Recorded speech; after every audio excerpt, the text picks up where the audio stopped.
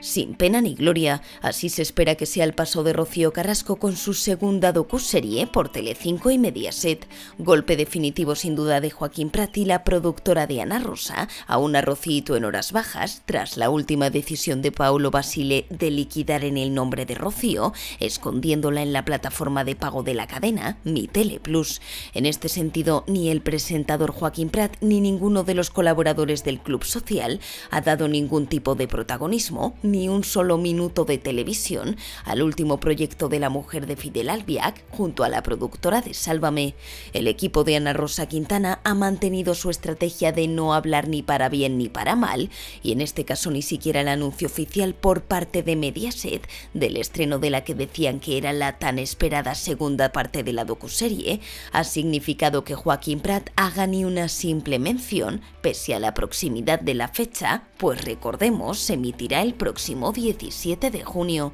Se espera que la audiencia sea terrible al ser emitida primeramente en su plataforma de pago y después tan solo los capítulos 0 y 1 en abierto, volviendo a su plataforma premium para la emisión íntegra de la docuserie que tanto ruido ha causado y que no hay más que ver para lo que ha quedado, pues parece que casi que se la quitan de en medio.